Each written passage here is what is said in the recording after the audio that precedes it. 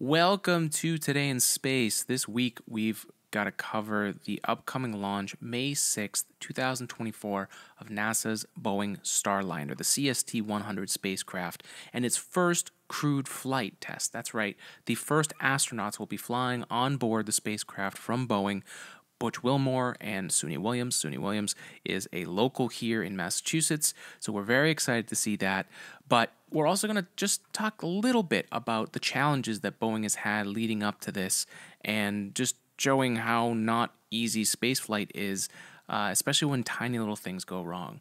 Uh, but ultimately, this is all about them being successful, right? We want them to be successful. There's a lot of people who are going to be criticizing this. I know I've been critical of it too, but we're here. It's game time. A week from now at 10:34 p.m. Eastern Time, this will be taking off from Florida, and we want those astronauts to be safe. We want Boeing to be successful here, and the commercial crew program to make sure that we have the two spacecraft that us as taxpayers paid for back in the day. Uh, the SpaceX Crew Dragon was one of those as well. So let's dive into this, folks. Thank you for joining us. This is Today in Space.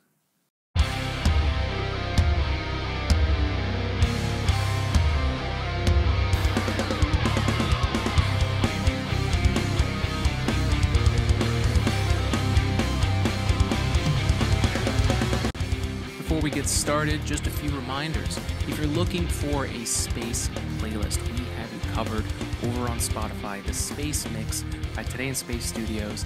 It's our compilation of all songs that have something to do with space and science, and it's a jam. That's really what it's made for. It's meant for if you're waiting for this Boeing Starliner launch to take off. It's it's there for you to get pumped up. We listen to it every single time we record an episode. It gets us pumped up, and that's what it's all about. There's artists you know of, like David Bowie, uh, but there's plenty of other artists you probably haven't heard of.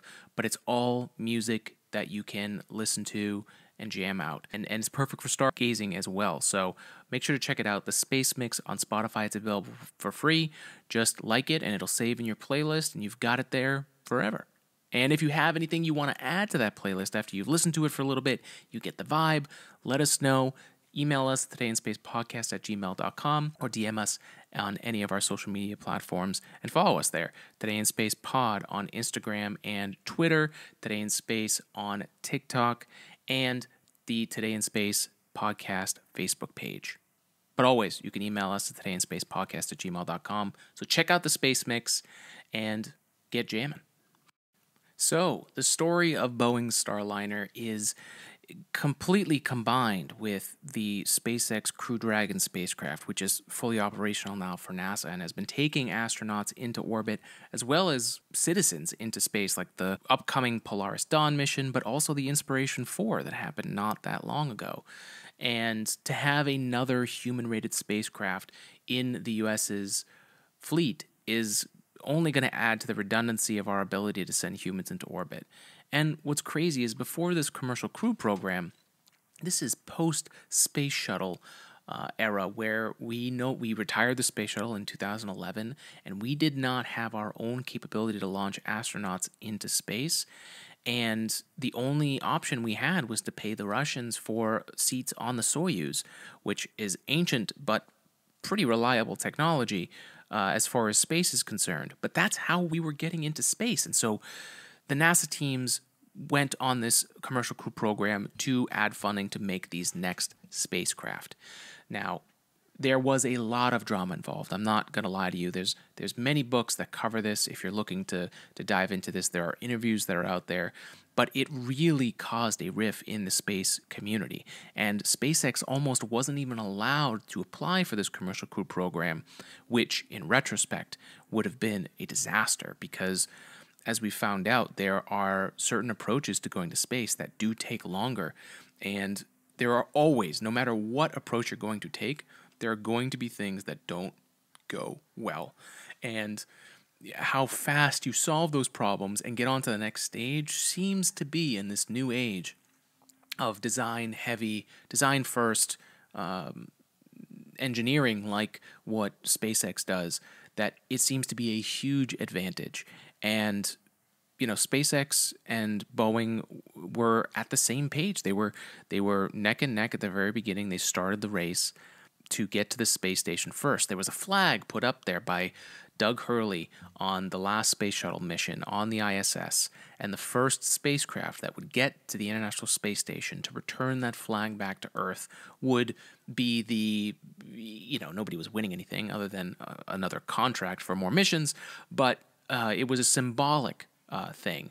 And in 2020, during the pandemic, the first uh, Demo 2 mission, that was the first crewed mission to the ISS that docked, that had astronauts Bob Behnken and Doug Hurley. Uh, so cool that Doug, astronaut Doug Hurley, got to go back to return that flag. I mean, such a, a cool moment in space history. But that is where that's when SpaceX was successful, that Demo 2 mission in 2020. And Boeing took their shot in December of 2019 with their uncrewed test mission to the ISS. Uh, but things did not go well. And at first, it seemed like Boeing could have beat them up there, uh, SpaceX, to the ISS. But something happened with Starliner. There were, as this article from space.com states, suffered a series of problems shortly after liftoff, one of which I believe was the software misunderstood where the spacecraft was supposed to be in orbit and essentially started firing all its thrusters to try and compensate. But for whatever reason, uh, that ended up putting the spacecraft into an orbit that made it too low for them to actually redock with the station and essentially made it so that they had to come back. But the spacecraft did land successfully. The parachutes, which was a big thing, a big problem with uh, both of these crew programs, and, and, took up a lot of time in testing to make sure it was right. Understandably, you, you, need to land safely. At least on that first uh, uh OFT mission, OFT 1 for Starliner, they got everything but the docking correctly. This podcast is brought to you by AG3D Printing. It is our 3D printing lab here where we bring ideas into reality. We have our Instagram page, AG3D Printing, where you can see all the things we've made over the years.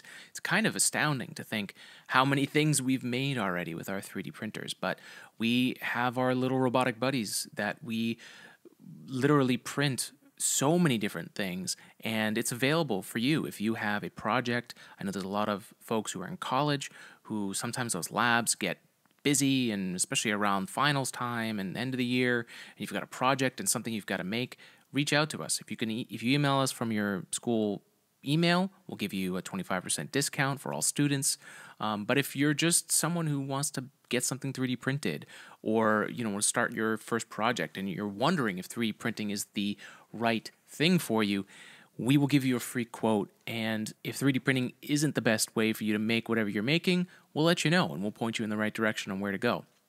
But we're here to help bring your own ideas into reality. We've got our friends like over at Snapcaller and others who've had ideas for businesses. We've helped them prototype those first models so they they have the idea and they have it in their hands. That's that's the power of 3D printing is is literally bringing an idea into reality rapidly and it's all about this iterative approach and stuff but but you don't have to do the work we will do the work. We're the experts here on the 3D printing side of things, so we'd be happy to help you with your next project. So go to ag3d printing.com. There's a form there, fill it out. You can get a free quote from us. You can email us at ag3d.engineering at gmail.com. And of course, Follow us online at AG3D Printing at Instagram and AG3D Printing Lab over on TikTok. And don't forget, if you're looking for a gift for a nerd in your life, we've got a ton of stuff already designed and ready to print on demand at our Etsy shop, ag3dprinting.etsy.com. Most stuff is under $20, and if you go over the $20 mark, I believe there's free shipping. But if you let us know that you came from the podcast, we will do our best to add as much value as possible. But it's just a great thing for a gift for a loved one. So make sure to check it out ag3dprinting.etsy.com. And now, back to the show.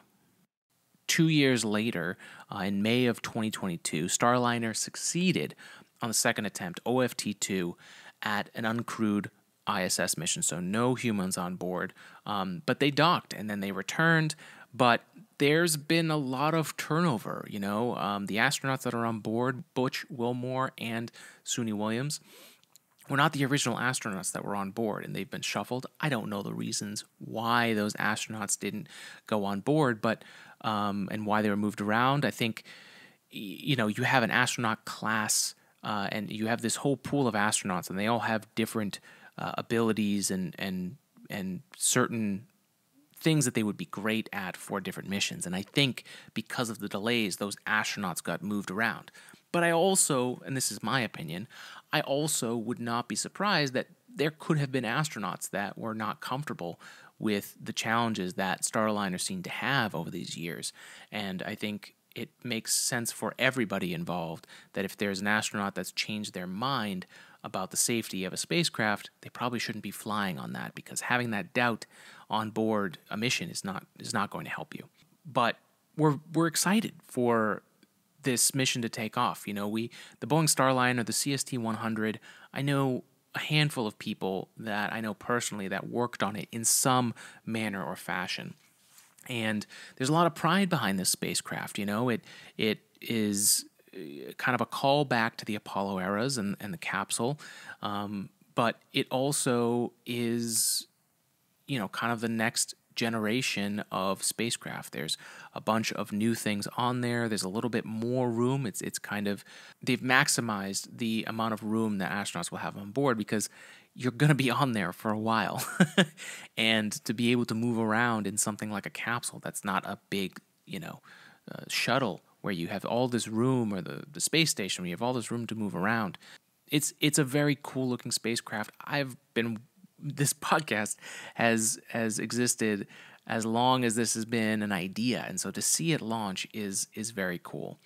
Um, and more importantly, like the why for for NASA and why they have two of these human rated spacecrafts is is very well spoken in this quote from Dana Weigel, the manager of NASA's International Space Station program, but having redundant crew vehicle capability from the US to transport our crew to ISS is really important and helps us with any number of different contingency scenarios that we encounter, whether that's launching crew on board to keep us continually crewed, or issues we could face on board with other spacecraft that require redundant capability for crew rescue purposes. So, not only is having two different spacecraft, it kind of gives you options, it gives you other options for scenarios where, let's say, the ISS experience is something where there could be debris and you've got to, that might hit it impact the space station and it's better to bring the crew home than to keep them up there to potentially weather the storm, if you will. That's no bueno, and we don't want that. So, having multiple crewed spacecraft is, is huge. And some more info on this flight itself. The rocket that will be launching this to orbit will be the Atlas V, and this would be the first crewed launch for an Atlas V, uh, which is pretty impressive and you know, the Atlas V is a is a workhorse of the industry. It's United Launch Alliance's rocket, and it's been waiting to launch uh, with humans on board for a very long time. And so I know the ULA team is very excited. Both times the Atlas V performed flawlessly, sending Boeing Starliner to the appropriate orbit. So, you know, on that first launch, it was the spacecraft that wasn't able to complete its second portion of getting to orbit in the right altitude. This is also the first astronaut mission for a rocket in the Atlas family of rockets since the Mercury program in the early 1960s. So, for anyone involved in the Atlas family of rockets and uh, that historic um, history, uh, historic history, what am I talking about here? In the long history of Atlas rockets, there has been a very long time since it's launched humans. And, you know, we're talking about 60 years, essentially. It's a long time. So, uh, for anyone who's still involved, who's still around from that, I'm sure it will be a glorious moment to see that come back. But the long and short of the story here for this episode and this week is to kind of reflect on how important it is for America to have its own ability to launch humans into space. We, for essentially a decade, were unable and strung along by the only rocket and spacecraft that was rated for human space travel, which was Russia's Soyuz system.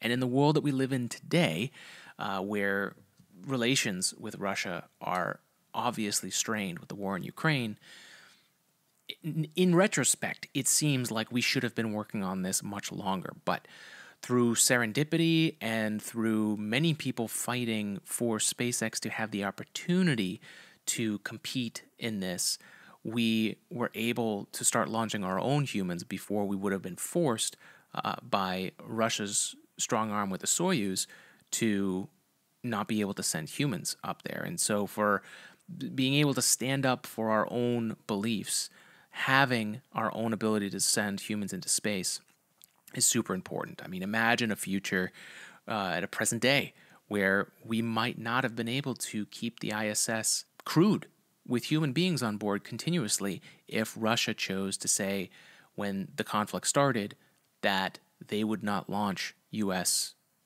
astronauts unless we stopped giving aid to Ukraine. So, in retrospect, it was not a story that any of us thought was going to be the case when the commercial crew program first started. But boy, are we lucky that we have the SpaceX teams and the Boeing teams working on this and, and bringing back our ability to send humans into space. So, it's definitely something to reflect on. And I, I wish the Boeing teams luck. They have had a, a, a bumpy road up until this point, especially for a company that has been doing this for a very long time. And it just goes to show you that going to space and being successful in space is not guaranteed, even at the highest level of engineering.